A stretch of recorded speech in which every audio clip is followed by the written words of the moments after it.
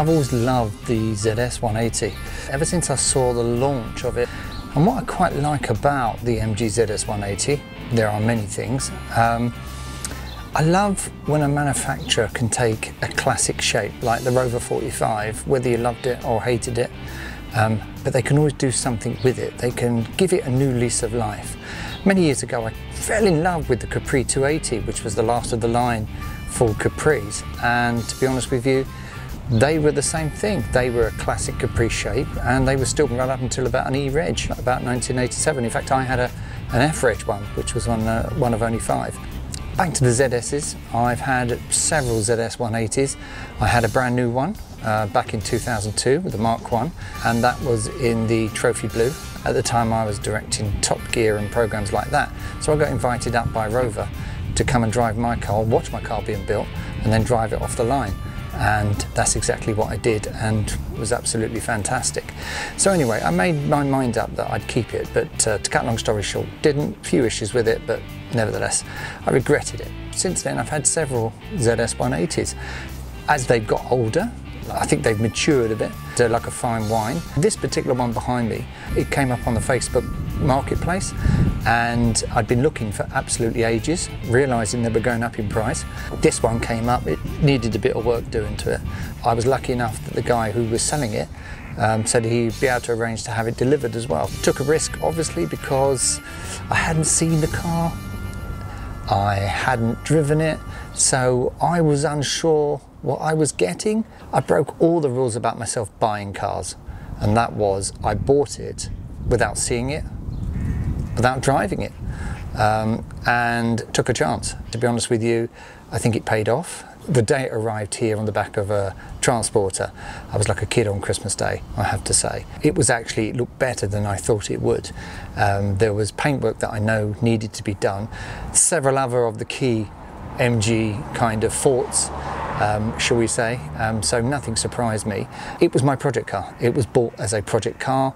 This was a car I felt worth looking after and um, not so much as an investment. Uh, obviously, I'm sure we all hope that our cars are going to appreciate in time. Driving it, I can honestly say, puts a smile on my face.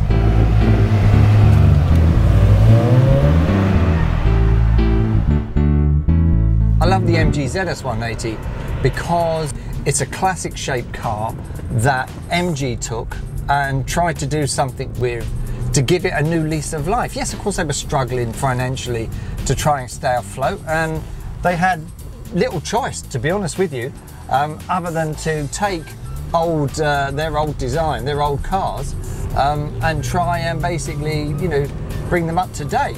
And I, I think they did that quite well with the ZS um, 180, the MGZT and the MGZR. The build quality, there's no excuse for that, could have been improved on. And I think um, there was a lot of people on the factory floor that were feeling the frustration of management and goodness knows what else. You know what, I've driven BMWs and I've driven Mercedes and I've driven just about everything else.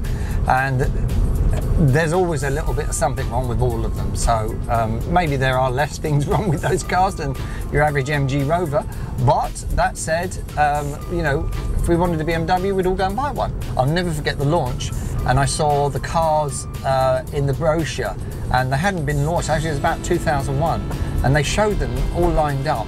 You know, there was a yellow ZR, the blue ZS, and I think the ZT, and, and they looked absolutely stunning. And I just saw that picture and I thought, I'm having one. I got to have one. There was at the time nothing else on the road that was, I guess you could say, a classic, um, an old shaped car that had been brought up to date. But that's what MG Rover did with this. And I'm not sure if that's the reason why every other MG ZS or ZR or ZT person, for that matter, um, loves these cars. But it is me.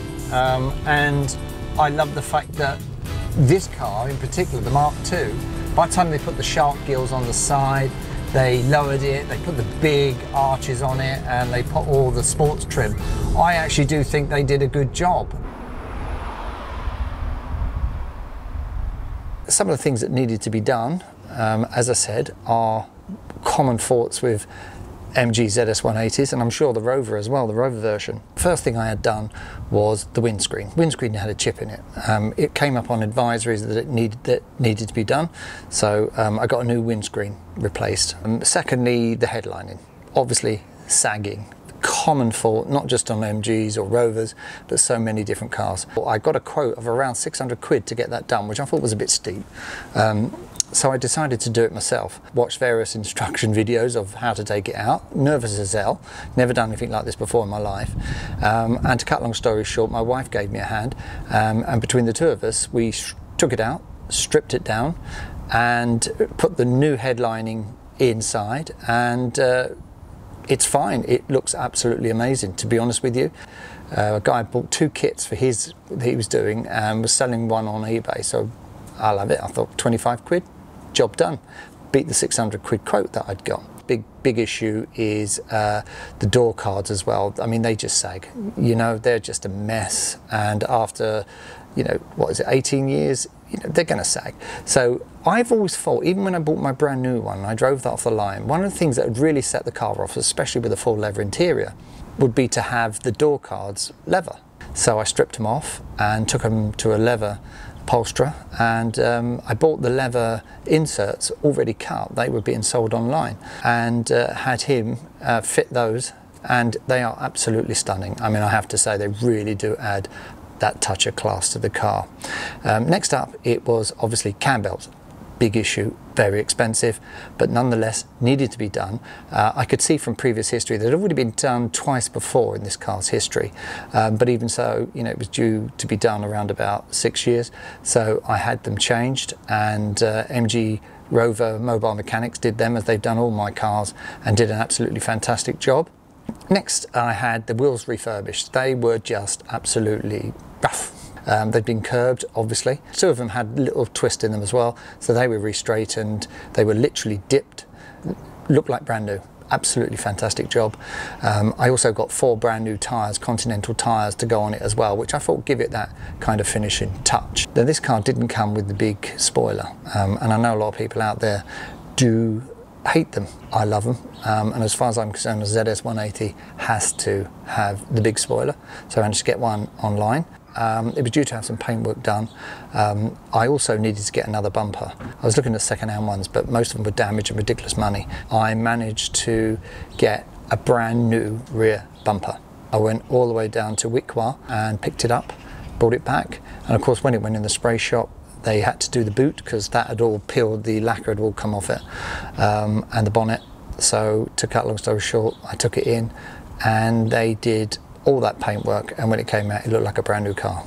My only problem now, having done all this work and getting it looking this good, is I guess like many classic car owners who've spent a fortune on their cars or really love them, you just don't want to take it on the motorway, or you just don't want to take it out uh, because of, you know, the good old-fashioned door dingers, the trolley dents, and goodness knows what else. And I can park that a million miles from anywhere else in a car park, um, and I'll come out and there'll be a car parked next to it. I've had uh, two brand new fog lights fitted to the front. Well, I've done that, so the bumper off. Every time I do something, it gives me an opportunity to get behind, clean, if I'm removing something, to wax all and protect it. And the whole of the underneath that car I had cleaned, black undersealed to protect it. What I have bought from Wickwa recently is two lower arms uh, to go on the front, because I want to get two new front discs fitted, um, but I managed to get two brand new from the factory floor. It will be a great feeling when they're finally fitted, which is next year's project, um, because then I'll feel like it's had some really new components put on it as well. Um, I don't want to go on spending money on it. I've got to start trying to use it and enjoy it. And I took it to Pride of Longbridge 2022 and parked it up there. Lovely to see so many other MG Rovers still on the road, um, especially ZS's.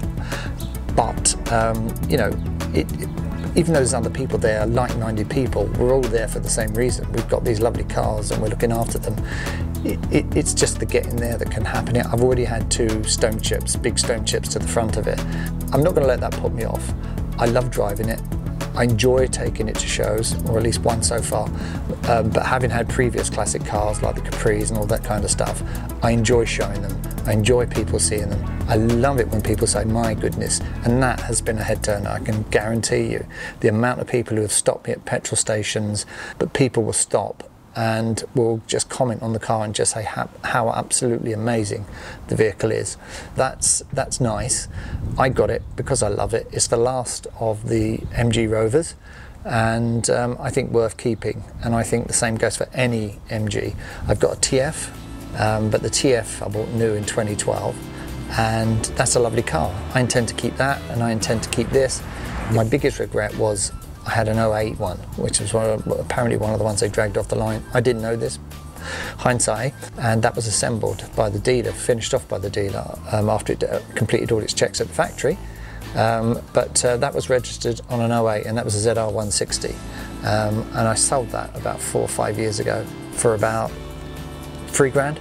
Um, and I'm sure it's worth a lot more. And it didn't have high mileage on it. But for now, I'm quite happy. ZS180, taking that out, giving it a good run and uh, hopefully I'll see you at a show in the future.